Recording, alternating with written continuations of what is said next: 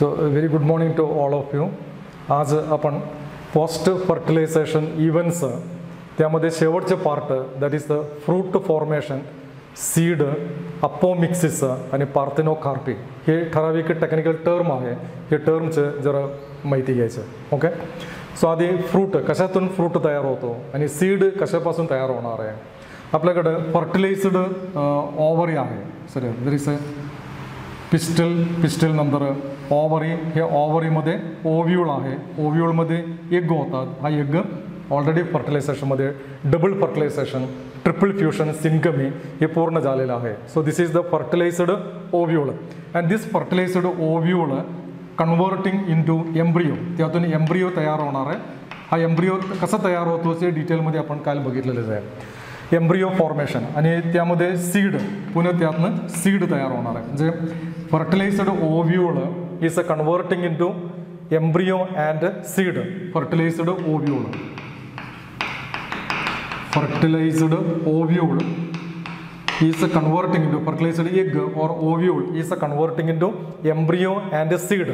आता त्यात राहिलेलं आहे स्टाईल त्या स्टाईल काही दिवसांनी ते विदर्ड होणार आहे ते ड्राय होणार असं ते सुक सुकणार आहे आणि त्यानंतर राहिलेले कुठलं आहे हा ovary this is the ovary this ovary will change in to fruit त्यातून फ्रूट तयार होणार आहे ओके फ्रूट तयार होत असताना ह्यामध्ये असलेले तीन लेयर या फ्रूट किंवा ते ओव्हरीचे वॉल आहे that change in to three three different walls different layers one of the layer is the peri sorry one of the layer is the ectocarp that is the ectocarp आउटसाईडमध्ये ectocarp आणि त्याच्या मध्ये मिडलमध्ये आपण ectocarp म्हणजे हे एकदम बाहेर असलेले that is a green coloured किंवा ते साल म्हणतो आपण ते काढून टाकतात. त्याला आपण एक्टोकार्प किंवा एक्सोकार्प असं म्हणायचं आहे. आणि त्याच्यामध्ये आपण जे खाण्यासाठी वापरतो फॉर एक्झाम्पल ते आंबा असेल तर ते खाण्यासाठी वापरतो. फ्लशी किंवा मांसल असलेले पार्ट त्याला आपण मिसोकार्प म्हणायचं आहे. मिसोकार्प मिसोकार्प संपल्यानंतर आहे त्याच्या आत एक एकदम हार्ड स्ट्रक्चर आहे. सपोज आंबा असेल तर. त्याच्या आतल्या बाजूला एकदम हार्ड हे आपण खाऊ शकत नाही. त्याच्या आत सीड असतात and this a hard part that is known as the pea that is known as the endocarp endocarp so like ectocarp mesocarp endocarp असं तीन लेअरमध्ये हे ओव्हरी डिफरन्शिएट होणार आहे. So ovary differentiated into three layers that is the outermost ectocarp काही पुस्तकामध्ये ते exocarp लिहिलेलं आहे. मिसोकार्प आणि endocarp and all these together forming a three layer that is together forming the pericarp त्याला म्हणतो आपण pericarp so pericarp is formed by three layers ectocarp mesocarp आणि एंडोकार्प एंडोकार्पच्या आत गेले आपल्याला एक ओव्ह्यूल सापडणार आहे. ओव्ह्यूलमध्ये पुन्हा काय असतं एम्ब्रिओ आणि सीड हे सगळं सर्व स्ट्रक्चर तिथं असणार आहे. आता मला इथं सांगायचं आहे हे एक्टो पेरिकार्प पेरिकार्पचं नेचर ते बघून फ्रूट क्लासिफिकेशन केलेलं आहे कसं क्लासिफिकेशन केलं आहे according to the nature of the pericarp the fruits are classified in to two types that is the fruit classified in to two types एक पेरिकार्प बिकम फ्लशी आणि pericarp become dry sir some of the fruit some of the fruit the pericarp means ectocarp mesocarp endocarp it become very dry and some of them it become very fleshy or it become very soft for example mango फ्लशीला example very good example mango guava वगैरे त्याला example आहे आणि ड्राईल example ground nut शेंगदाणा किंवा ground nut त्याला example आहे pea variety त्याला example आहे पण पी व्हरायटीमध्ये एक एक्टोकार्प मिसोकार्प एंडोकार्प आहे तिथे पण एक्टोकार्प मिसोकार्प एंडोकार्प हे पूर्णपण असं सेपरेशन करता येत नाही ते एकदम जोडून एकत्रित असणार आहे पण ते फ्लशी नाहीचे ते खा खायला आपल्याला शक्य होणार नाही नॉट एडिबल त्याच्या आत असलेले सीड आपण खातो किंवा एम्ब्रिओ आणि सीड हे आपण खात असते ग्राउंड नटोमध्ये किंवा शेंगदाणामध्ये ठीक आहे असं क्लासिफिकेशन फ्लशी फ्रूट आणि ड्राय फ्रूट. आता इथं फ्रूटचं क्लासिफिकेशन डिटेलमध्ये क्लासिफिकेशन मी काय करणार नाही. बिकॉज या टॉपिकचं टॉपिकमध्ये हे क्लासिफिकेशनचे एक पार्ट नाहीच आहे आणि त्याच्या स्कोपमध्ये या टॉपिकच्या स्कोपमध्ये ते येणार नाही. हे ऑलरेडी आपण अकरावीला ते अभ्यास केलेले. अकरावीला morphology टॉपिकमध्ये fruits different types of fruit three different types of fruit हे सगळं डिटेलमध्ये झालेलं आहे. आता थोडं इथं फ्रूट्स एक वेगळं पद्धतीनं फ्रूट तयार होतो. हे फर्टिलायझेशन झाल्यानंतर हे फ्रूट तयार झालेले आहे त्यामध्ये एक्टोकार्प मिसोकार्प एंडोकार्प आणि पेरिकार्प वगैरे दिसते आपल्याला. आणि त्याला आपण ड्राई फ्रूट फ्लशी फ्रूट असं क्लासिफिकेशन करतो. काही प्लांटमध्ये the fruit developing without fertilisation असं एक आहे. आणि दुसरं एक condition the fruit developing not from the ovary काही प्लांटमध्ये हे ओव्हरीमधून फ्रूट तयार होत नाही. If the fruit developing not from the ovary or any other part, any part other than the ovary, such a type of the fruit is known as the false fruit. So fruits classification fruits are classified into false fruit also. False fruit. सगळं. Actually false fruit आहे and true fruit असं classification आहे. सगळं. त्यातले true फ्रूटमध्ये fleshy fruit आणि dry fruit येणार आहे. So fruit false fruit actually what is a false fruit the fruit developing from the part of the flower other than the ovary ovary सोडून दुसरं कुठल्याही पार्टमधून जर फ्रूट तयार होत असेल तर त्याला काय म्हणायचं आहे फॉल्स फ्रूट म्हणायचं आहे सी वन एक्झाम्पल ॲपल सगळं. आपण नेहमी ॲपल का होतं? ते ॲपलचे रेफरन्स घेतो. त्या ॲपलमध्ये actually thalamus this is the pedicel आहे आणि हा तलामस आहे okay this is the thalamus आणि the ovule this is the ovule sir so during the fruit formation the thalamus is enlarging तलामसचं size असं वाढत जाणार आहे sir this is the thalamus thalamus increasing and the size will increase and become fleshy it become flesh and the seed is remaining inside sir त्याचे ovary म्हणतो ना आपण हे ovary त्याच्या आत राहणार आहे. मध्ये जे दिसते ओव्हरी आहे. ओव्हरीमध्ये लोक्युल आहे. लोक्युलमध्ये सीड दिसतं दिस इज द सीड असं ॲपलमध्ये दिसते सो असं ॲपल तयार apple is actually forming from the thalamus तलामसमध्ये apple तयार होत असल्यामुळे हे ॲपल कशामध्ये येणार आहे? फॉल्स फ्रूटमध्ये येणार आहे. So fruit that is developing from the part of the flower other than the ovary other than the ovary म्हणजे here it is developing from the thalamus so this type of the fruit is known as the false fruit दुसरं एक example घेतो in the case of the cashew nut काजू म्हणतो आपण cashew nut cashew नटचं this is the thalamus आणि this is the पेड pedicel हे पेडिसल आणि तलामस इथं त्याचं सीड आहे सीड म्हणजे फर्टिलायझड ओव्ह्यूल आहे ते फर्टिलायझड ओव्ह्यूलमधून काय तयार होणार आहे एम्ब्रियो आणि सीड तयार होणार नाही so when the seed formation or the fruit formation this pedicel हा पेडिसल पूर्णपणे एनलार्ज होत असं पेडिसल पेडिसल एनलार्ज होणार आहे. आणि त्याच्या तलामस हे तलामस सुद्धा असं त्याला जोडतंय. आणि शेवटी हे तलामस आणि पेडिसल हे दोन्ही एकत्रित असं राहतो. थोडं खाण्यासारखे किंवा ते फ्लशी एडिबल पार्ट म्हणून ते गोड असलेले. आपण ते खाऊ शकतो. This is the fruit of the cashew nut किंवा काजूचं फ्रूट आहे. आणि त्याच्या सीड कुठं असणार आहे? त्याच्या एंडमध्ये इथं सीड बसवलेलं आहे. This is the seed seed and embryo so in both the cashew nut and the uh, apple fruit apple the fruit is not developing from the ovary it is developing from either from the thalamus or from the pedicel and the thalamus such a type of the fruit is known as the false fruit okay अजून एक type of fruit आहे that fruit is not a developing by fertilization फर्टिलायझेशनमुळे ते तयार होत नाही sir without fertilization the fruit developing without fertilization हे दुसरं एक टाईप ऑफ फ्रूट आहे that is known as the parthenocarpic fruit parthenocarpic fruit without fertilization fruit developing without fertilization is known as a parthenocarpic fruit parthenocarpic fruit natural parthenocarpic fruit आपल्याला बनानामध्ये बघायला मिळते banana sir in the banana banana आपण केळी खात असताना ते केळीच्या आत जरा कट करून जरा बघितलंय अं, असं असं केळी जर असेल तर आपण ते केळी असं कट करून बघायचं. कट केल्यानंतर त्याच्या आत मध्ये एक असं दिसतं एक थोडे रेग्युलर असं दिसतंय. त्याच्यामध्ये स्पॉट ब्लॅक स्पॉट असं दिसतंय बघा. ब्लॅक स्पॉट हे black spot actually infertile ovule आहे. म्हणजे त्याला फर्टिलायझेशन फर्टिलायझेशन नाही झालेलं आहे. इनफर्टाईल ओव्ह्यूल आणि त्याच्यामध्ये जे दिसतं ते ॲक्सिस आहे. ते ओव्ह्यूलचे ओव्हरीच्या आत असलेले ॲक्सिस आहे. त्याच्यामध्ये प्लासंडा आणि ते ओव्ह्यूल अटॅचमेंट गेलेले आहे. हा स्ट्रक्चर आहे ते केळीच्या मध्ये दिसते आपल्याला. केळी खाताना आपण हे काही काढून टाकत नाही ते आहे तसं खातो आपण. त्याच्यामध्ये ते दिसतात. सो हे बेनाना नाही हे नॅचरल पार्थिनोकार्पिक फ्रूट आहे. आणि आपण एखादं नॅचरल नॅचरल असू दे किंवा आर्टिफिशियल असू दे पार्थिनोकार्पिक फ्रूटमध्ये काही नसते सीड नसते. जे सीडलेस एखादं फ्रूट तयार करायचं असेल तर आपण parthenocarpic artificial parthenocarpic method follow करायचं हे आर्टिफिशियल पा पार्थिनोकार्पिक मेथड कसं आपण तयार करणार आहे?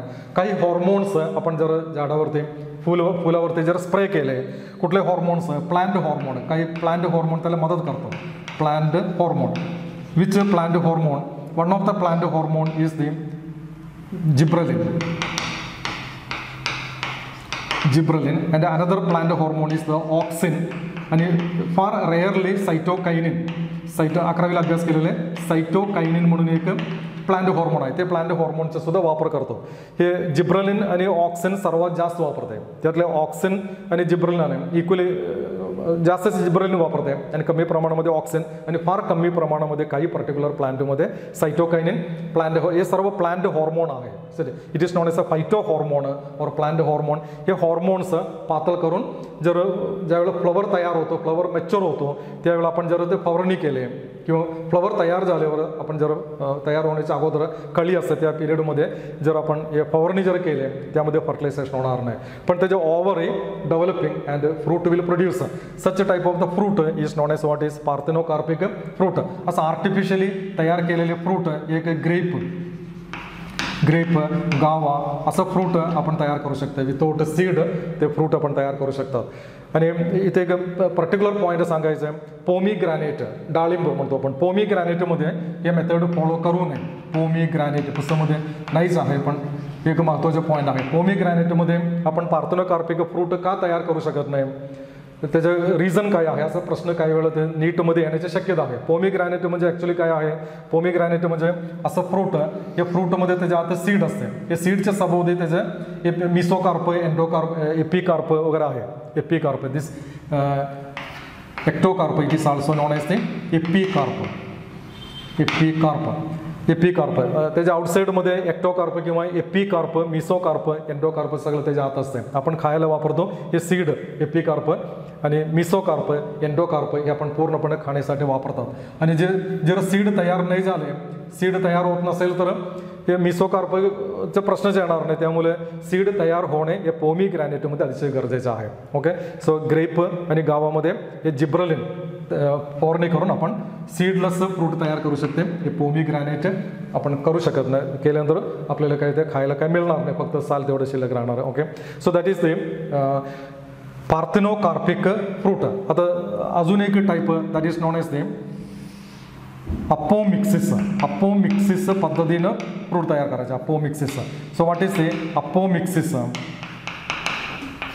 अपोमिक्सिस अपोमिक्सिस मीन्स हे very entirely different type embryo तयार होण्याची एक पद्धत आहे एक एक प्रोसेस आहे एंटायरली डिफरंट मेथड अपोमिक्सिस आपण अपोमिक्सिस सेपरेट आपण स्टडी करूया so what is actually apomixis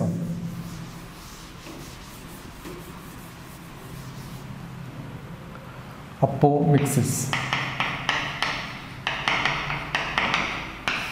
apomixis apomixis actually asexual reproduction आहे asexual so apomixis is an asexual reproduction asexual reproduction आणि दॅट मिमिक मिमिक मिमिक म्हणजे नक्कल करणे mimic that mimic sexual reproduction sir sexual reproduction असं एक एकदम एक वेगळं पद्धतीचं एक fruit form embryo formation seed formation एक पद्धत आहे हे apomixis so what is actual apomixis apomixis is asexual reproduction that a mimic sexual reproduction sexual रिप्रोडक्शनचे नक्कल करतो आणि हा एसेक्शुअल टाईप रिप्रोडक्शन आहे एक सिंपल एक्झाम्पल जर घेतलं in the case of the mango mango and mango and citrus जे लिंबू सिट्रस या दोन फ्रूटमध्ये अपोमिक्सिस पद्धत जरा.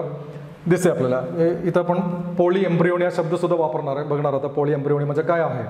मँगो आणि सिट्रसमध्ये त्याचं ovule this is the this is the ovule हा ओव्ह्यूलमध्ये एम्ब्रिओ सॅक तयार झाले. इथं एम्ब्रिओ सॅक म्हणजे मध्ये ट्रिप्लॉइड न्यूक्लियस आणि इथं हे सगळं गेलेलं आहे. म्हणजे अँटीपॉडल्स आणि इथं एक असणार आहे. फर्टिलायझड एक असणार बाकी सगळं स्ट्रक्चर गेलेलं आहे हे एम्ब्रिओ सॅक आहे हा एम्ब्रिओ सॅक तयार होत असताना त्याच्या सभोवती जे न्यूसिलस आहे न्यूसिलस एक लेयर थिन लेयर असं nucellus diploid nucellus layer thin layer असं तिथं शिल्लक राहतो हे ऑलरेडी मी एक्सप्लेन केलेले पॉईंट आहे आणि this thin layer of the nucellus is known as name this is the nucellus एवढं शिल्लक राहणार बाकी सगळं ते संपवलेलं आहे सॉरी एम्ब्रिओ फॉर्मेशनला बाकी न्यूसिलस पूर्णपणे संपवलेलं आहे. एक थिन लेअर न्यूसिलस हे एम्ब्रिओचे फिमेल गॅमिटोफाईट एम्ब्रिओ सॅक म्हणतो आपण त्याच्या सभोवती शिल्लक राहतो. आणि this is known as name perisperm perisperm आता पेरिस्पर्ममध्ये जे सेल्स आहे ते सेल्स हॅप्लॉइड आहे का डिप्लॉइड आहे का? हा सेल्स डिप्लॉइड आहे. ओके आणि हा डिप्लॉइड सेल इथं डिप्लॉइड सपोज इथं डिप्लॉइड सेल आहे. हा डिप्लॉइड सेल काय करणार आहे? त्याचं मल्टिप्लिकेशन होणार आहे. Sir this is the diploid cell this diploid cell multiply and then it pushing inside या एम्ब्रिओमध्ये एम्ब्रिओ सॅक आहे. त्या एम्ब्रिओ सॅकमध्ये ते पुशिंग करणार आहे. इथं अनेक सेल असं तयार होतो. मल्टिप्लिकेशन करून अनेक सेलचे एक ग्रुप तयार होतो. And this group of the cell is acting as a zygote किंवा हा एम्ब्रिओ म्हणून काम करणार आहे. Embryo so it function as an embryo. So this embryo is also what is two N कंडिशनमध्ये आहे. कारण ते टू एन कंडिशनमधून तयार झालं. न्यूसेलस टू एन कंडिशन आहे. पेरिस्पर्म आहे. हे perisperm nucellus two N condition आहे. त्यातून डायरेक्ट एक सेल बाजूला सरकणार आहे. आणि ते सेल मल्टिप्लाय होतो. मल्टिप्लाय झाल्यानंतर त्याचं साईज वाढणार आहे. आणि ते आत ते एम्ब्रिओ सॅकमध्ये पुशिंग करतो. असं इथे एक एम्ब्रिओ तयार झाले बघा. तसं दुसऱ्या ठिकाणी इथं पण असं एक एम्ब्रिओ तयार होऊ शकतात इथे एम्ब्रिओ तयार झाले इथे एक एम्ब्रिओ तयार होऊ शकते इथं दुसरे एक एम्ब्रिओ तयार होऊ शकतात. असं अनेक एम्ब्रिओ एखादं ओव्ह्यूलमध्ये आपल्याला अनेक एम्ब्रिओ बघायला मिळते so this this condition is known as the poly embryo condition poly embryo condition poly embryonic condition poly embryonic condition see here the diagram here fruit apomixis parthenocarpy आणि पोळी एम्ब्रिओनी इथं पोळी एम्ब्रिओनी सुद्धा येणार आहे polyembryony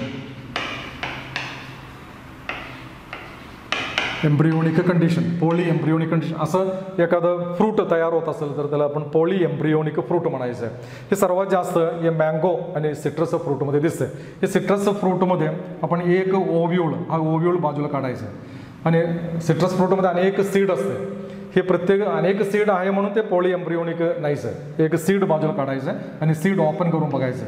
हे ओपन करून बघितलं त्याच्यामध्ये एक एम्ब्रिओ दिसणार ओरिजिनल एम्ब्रिओ आणि त्याच्यामध्ये दुसरा एम्ब्रिओ तिसरा एम्ब्रिओ असे अनेक एम्ब्रिओ त्यामध्ये ते सीडमध्ये बघायला मिळते आपल्याला. That is that a condition is known as what is that is known as a polyembryonic condition आपले पॉईंट काय? अपोमिक्सिस म्हणजे काय आहे? What is actually apomixis apomixis is related with this poly embryonic so अपोमिक्सिसचं definition आपल्याकडे आहे.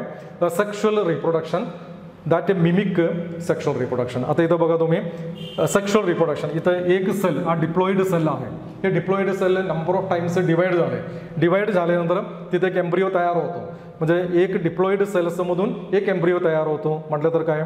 That is the sexual reproduction कारण fertilisation male female gamete वगैरे काही संबंधच नाही तिथे. एक एका ऑर्गॅनिझममधून Uh, directly diploid cell converting into embryo. Embryo so that is asexual reproduction पण एम्ब्रिओ तयार होतो म्हटलं तर हे सेक्शुअल रिप्रोडक्शनचं नेचर आहे. एम्ब्रिओ कसं तयार होतो? मेल गॅमेट आणि फिमेल गॅमेट दोन्ही एकत्र येऊन तिथं जायगोट तयार होतो. हे जायगोटमधून एम्ब्रिओ तयार होणार आहे.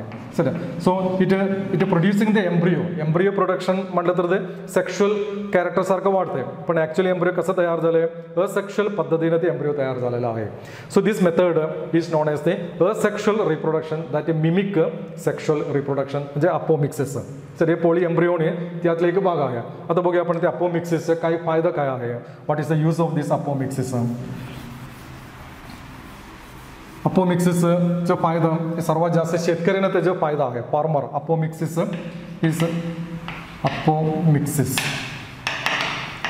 the most uh, valuable uh, or the uh, most significant uh, significance uh, is in the application of the uh, uh, far- farming or the farmers uh, is getting more benefit from this apomixis uh, condition. So actually hybrid plant आपल्याला माहिती आहे hybrid plant आपण ज्वारी किंवा ते गहू किंवा अनेक व्हरायटी आपण हायब्रिड प्लांटचा वापर करतो फॉर एक्झाम्पल आपण जॉवर घेऊ आपण जॉवर हे जॉवरचे हायब्रिड हायब्रिड सीड आपण ते बाजारमधून आणलंय हायब्रिड सीड हे हायब्रिड सीड आपण काय करणार आहे? त्याचं सोईंग सोईंग म्हणजे पेरणी करणार आहे. सोईंग केल्यानंतर त्यातून प्लांट तयार होतो. प्लांट हा प्लांट चांगला गुण असलेले प्लांट आहे. काय ते चांगला गुण म्हणजे काय आहे? त्यात सीड भरपूर तयार होतो. जॉवर भरपूर तयार होतो. सीड म्हणजे जॉवर भरपूर तयार होतो. त्याला इन्सेक्ट रेसिस्टंट आहे. सर हा प्लांट इन्सेक्ट रेसिस्टंट आहे. इन्सेक्ट रेसिस्टंट आहे. आणि त्या प्लांटचं ग्रोथ चांगल्या पद्धतीने ग्रोथ होणार आहे. त्याला कमी पाणी लागणार आहे. वॉटर जास्त लागत नाही. असं अनेक गुण आहेत ते हायब्रिड प्लांटाने म्हणून ते हायब्रिड प्लांट शेतकरी वापरत असते हायब्रिड प्लांटला पाणी जास्त लागत नाही. त्याला कीड लवकर रोग लवकर येणार नाही. त्याच्या वाढ इतकं स्पीडनं होणार आहे. सर आणि त्यामध्ये सीड किंवा त्या जॉबवर उत्पन्न पण भरपूर निघते. त्यासाठी हे हायब्रिड सीड शेतकरी वापरत असते फार्मर वापरत असतात. आणि प्रॉब्लेम काय येतो? असं प्लांट तयार झाले. हे सीडमधून एक प्लांट तयार झालं आहे हे प्लांट तयार झाल्यानंतर आपण नेहमी शेतकरी काय करणार आहे? एक दहा पोतं दहा sack ten sack sir ten suppose ten sack seed आपल्याला मिळणार आहे. त्यातले एक सॅक त्याने काय करणार आहे? One sack one sack one sack is a keeping aside keeping keeping aside बाजूला ठेवणार आहे. कीपिंग एसाईड बाजूला ठेवणार आहे. कशासाठी? फॉर द सीड सीड पुढच्या पेरणीसाठी त्यांनी सीड तयार करण्यासाठी हे सीडचा वापर करण्यासाठी बियाणे किंवा बी तयार करण्यासाठी एक पोतं त्यांनी बाजूला एक सॅक त्यांनी बाजूला काढून ठेवणार आहे. ठीक आहे? आणि हा सीड त्यांनी पुढच्या पेरणी किंवा पुढच्या शेतीमध्ये ते सोईंगसाठी किंवा ते पेरणीसाठी ते वापरणार आहे. पण हे हायब्रिड प्लांट असेल तर हे हायब्रिड प्लांटमधून तयार झालेले सीड आपण जर शेतामध्ये सोईंगसाठी आहे किंवा ते पेरणी जर केले त्यातून तयार होणारे प्लांट आहे हे प्लांट या हायब्रिडच्या क्वालिटी नाही दाखवणार आहे ते कारण म्हणजे हे प्लांट हा प्लांटमधून पुन्हा पॉलन ग्रेन्स आणि एग तयार होत असताना त्याचे कॅरेक्टर्स सेग्रिगेट होतो कॅरेक्टर्स बाजूला सरकणार आहे पुन्हा ते रिजॉईंट होणार आहे असं रिजॉईंट होत असताना ते त्याचे कॅरेक्टर्स एकदम बदल झाले आणि रिजॉईंट झाल्यानंतर पुन्हा ते सीड तयार होतो म्हणजे ह्यातून हे हायब्रिड प्लांटचे सीड ते सीड आपण पेरणीसाठी जर वापरलं आहे शेतीसाठी वापरलं आहे ते शेतामधून तयार झाले शेतीमधून तयार झालेले ते प्लांट आहे. ते प्लांटमध्ये तयार होणारे ते बी आहे किंवा जॉवर आहे. ते जॉवरचे गुण हे हायब्रिड प्लांटमध्ये जे गुण आहे ते गुण नाही राहणार आहे. ते लवकर कीड इन्सेक्ट इन्फेक्शन होणार आहे. किंवा ते प्लॅनचं ग्रोथ लवकर होणार नाही. पाणी भरपूर ते लागणार असेल. सगळं ते वेगळं एक प्लांट तिथे तयार होतो. जे आपण एका एखादं जॉवर भरपूर धान्य देणारे एक जॉवर म्हणून ते सीड बाजूला काढून काढून ठेवले. त्याचे पेरणी केले. पण त्यातून आपल्याला हे पाहिजे ते गुण नाही मिळणार आहे. कारण तिथं कॅरेक्टर्स आणि कॅरेक्टर्स सेग्रिगेट होतो. पॉलंग्रेन्स आणि आणि ओव्ह्यूल पॉलंग्रेन्स आणि ओव्ह्यूल तयार होत असताना कॅरेक्टर्स सेग्रिगेट होतो आणि कॅरेक्टर्सचं पुन्हा रॅन्डमली ते मिक्सिंग होणार आहे त्यातून एक एकदम एक वेगळं टाईप जॉवर आपल्याला बघायला मिळणार आहे ठीक आहे त्यामुळे शेतकऱ्यांना काय करावं लागणार आहे हे सीड प्रत्येक वेळेला सीड नवीन घ्यावं लागणार आहे सर न्यू नवीन त्याने पेरणीसाठी एकदा हायब्रिडचे पोतं सीड आणले त्यातनं एक उत्पन्न बाजूला काढले आणि पुढच्या पेरणीच्या वेळा नवीन सीड ते विकत आणावं लागणार आहे. हे नवीन सीड आहे ते नवीन सीडची किंमत जास्त आहे. हायब्रिड सीड आणि ते विकत घ्यायचं म्हटलं तर त्याच्या ते कॉस्टली आहे. हे शेतकऱ्याने परवडत नाही. सर असं एक प्रॉब्लेम्स आहे. हे हायब्रिड सीडमुळे ते शेतकऱ्याने होतो. आता ह्या कंडिशनमध्ये ते शेतकऱ्याने आपण कसं वाचवायचं? आहे पैसा किंवा त्याला त्याला बाकीचं याच्यामधून आपण त्याला प्रोटेक्शन किंवा त्याला कसं वाचवायचं त्यासाठी अप्पो मिक्सेसचं सीड तयार करायचं आहे अप्पो मिक्सेसचं सर ह्या प्लांटमध्ये हे हायब्रिड प्लांट आहे हायब्रिड प्लांटचं ज्यावेळेला प्लांट तयार होतो हायब्रिड प्लांटचं ते सीड ते सीड आपण पेरणी केले त्यातून जॉवर प्लांट तयार होतो ह्या प्लांटमधून आपण काय तयार करायचं आहे अप्पो मिक्सिक अप्पो मिक्टिक त्याला म्हणतो आपण अप्पो मिक्टिक सीड तयार करायचं आहे अपोमिक्टिक सीड म्हणजे काय असतं त्या प्लॅनचं कुठलं तर एखादं डिप्लॉईड सेल एक डिप्लॉईड सेल बाजूला काढायचं सर हा डिप्लॉईड सेल बाजूला काढून डिप्लॉईड सेल कुठून मिळणार आहे कुठनं पण आपण काढू शकते हे एक लीफमधून काढता येते स्टममधून काढता येते सर एक डिप्लॉईड सेल बाजूला काढायचं हे डिप्लॉईड सेल बाजूला काढून त्यातून एक एम्ब्रिओ तयार करायचं एम्ब्रिओ आणि हा एम्ब्रिओ किंवा सीड तयार आहे एम्ब्रिओ म्हणजे, म्हणजे सीड हा सीड जर पुढच्या पेरणीसाठी जर वापरले ते प्लांट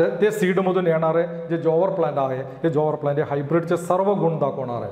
जे जास्त उत्पन्न देणार आहे आणि कीड लवकर लागणार नाही पाणी इतकं लागणार नाही सर्व गुण. जे हायब्रिडमध्ये जे गुण आहे हे गुण आहेत तसं या सीडमध्ये अपोमिक्टिक सीडमध्ये आपल्याला बघायला मिळणार आहे. म्हणून असं अपोमिक्टिक सीड तयार करून जर शेतकऱ्याने जर दिले ते जास्त फायदेशीर आहे आणि त्याची किंमत पण जास्त लागणार नाही. सर हायब्रिड ते अपोमिक्टिक सीड तयार करायला जास्त किंमत लागणार नाही आणि त्याचे प्रॉफिट शेतकऱ्यांचे प्रॉफिट वाढतंय म्हणून अपोमिक्टिक सीड तयार करून ते शेतकऱ्यांना देण्याची गरज आहे. हायब्रिड सीड डायरेक्टली शेतामधून काढलेले हायब्रिड सीड ते वापरता येत नाही. त्यासाठी हे अप्पो मिक्सेस पद्धत आहे. त्याचे अप्लिकेशन शेतकरीमध्ये शेतीमध्ये त्याचे अप्लिकेशन होतो. आणि एक अप्पोमिक्टिक सीड सध्या बाजारमध्ये अवेलेबल आहे. आता नवीन टेक्नॉलॉजीमध्ये हे अप्पोमिक्टिक जीन आहे. अप्पोमिक्टिक जीन अपोमिक्टिक जीन बाजूला काढायचं आहे आणि हा जीन एखाद्या प्लांटमध्ये इन्सर्ट करायचं इंट्रोड्यूस करायचं आहे करू शकते आपण अपोमिक्टिक जीन हे जीन बाजूला काढायचं आहे हे जीन मात्र हे हायब्रिड प्लांटमध्ये इंट्रोड्यूस करायचं आहे आणि त्यामुळे त्यामध्ये तयार होणारे सर्व सीड अपोमिक्टिक सीड तयार होणार आहे आपण जे खातो ना ते जॉवर किंवा ते धान्य खातो आपण हे सगळं अपोमिक्टिक सीड असणार आहे असं अपोमिक्टिक सीड तयार करणार आहे प्लॅन्ड संपूर्ण प्लॅन्ड आपण तयार करू शकते. ही आता रिसर्च चालू आहे आणि काही प्लॅन्ड पण तयार केलेला आहे. So okay that is a apomixis आता आपण कशातून आलेले? सीड फ्रुट्स ते fruits are fleshy fruit or it may be dry fruit.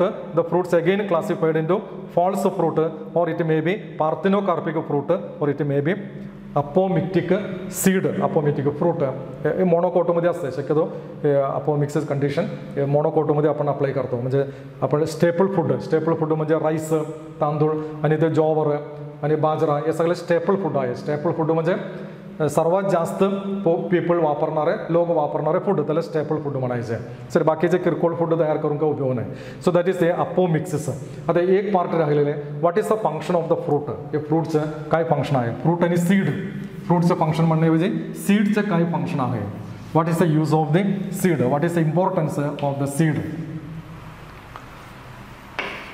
seed seed seed तयार नाही झालं तर काय होणार आहे? सीड सीड जर नाही तयार झाले सपोज एम्ब्रिओ तयार झाले हा एम्ब्रिओ डायरेक्ट वापरायचा असेल तर इमिडिएटली शेतामध्ये ते लावून घ्यायला लागणार आहे.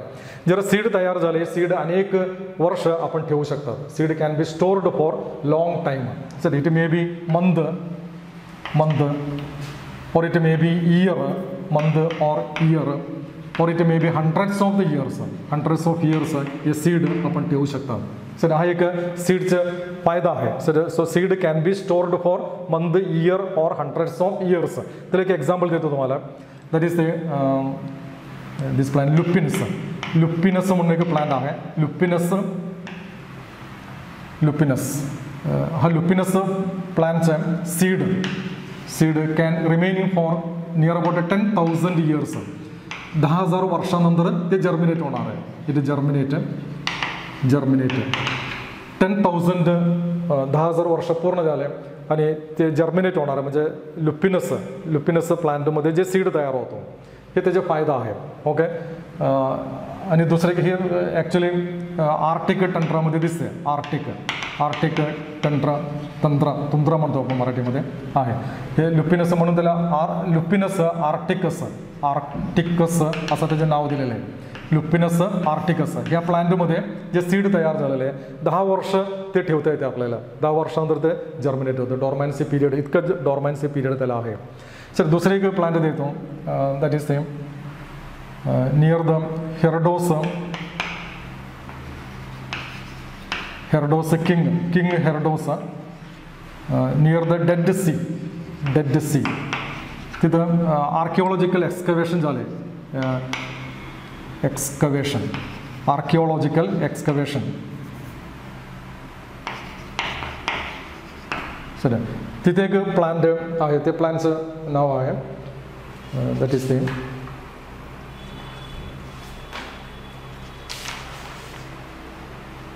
Phoenix dactylus Phoenix dactylus म्हणून प्लांट आहे Phoenix Phoenix dactylus Phoenix dactylus हे plant प्लांटचं seed near about twenty thousand years ते ठेवू शकतात ट्वेंटी थाउजंड इयर नंतर त्याचे जर्मिनेशन होणार आहे सगळं this is called germinate that is called dormancy period याला म्हणतो आपण डॉर्मॅन्सी पिरियड डॉर्मॅन्सी पिरियड हे डॉर्मॅन्सी पिरियडमध्ये पिरियड हे सीडमुळे शक्य आहे सर नसेल तर लगेच एम्ब्रिओ तयार झालं ते इमिडिएटली ते वापरायला पाहिजे तसं काही गरज नाही हे जर्मिनेशन डॉर्मॅन्सी पिरियड जास्त. दुसरं एक फायदा seed can be transported transportation हे ट्रान्सपोर्टेशनला फार फायदा आहे. ट्रान्सपोर्टेशन एका ठिकाणी असलेलं सीड दुसऱ्या ठिकाणी ट्रान्सपोर्ट करू शकते. एक छोटी प्लांट असेल तर ट्रान्सपोर्टेशनला अडचण आहे. ट्रान्सपोर्टेशन आणि थर्ड त्यामध्ये एन्डोस्पर्म आहे. एन्डोस्पर्म ट्रिप्लॉइड एन्डोस्पर्म आहे ट्रिप्लॉइड हे ट्रिप्लॉइड एन्डोस्पर्ममध्ये फूड साठवून ठेवलेलं आहे आणि त्यामुळे ते प्लांटचं ग्रोथ चांगल्या पद्धतीने होतो जर एन्डोस्पर्म नसेल तर कोटलडन आहे कोटलडनमध्ये सुद्धा फूड साठवून ठेवलेलं आहे त्याचं ग्रोथ होतो so that is the significance of the seed so that is today's part fruit seed apomixis parthenocarpy आणि polyembryonic condition okay thank you very much next part आपण पुन्हा बघूया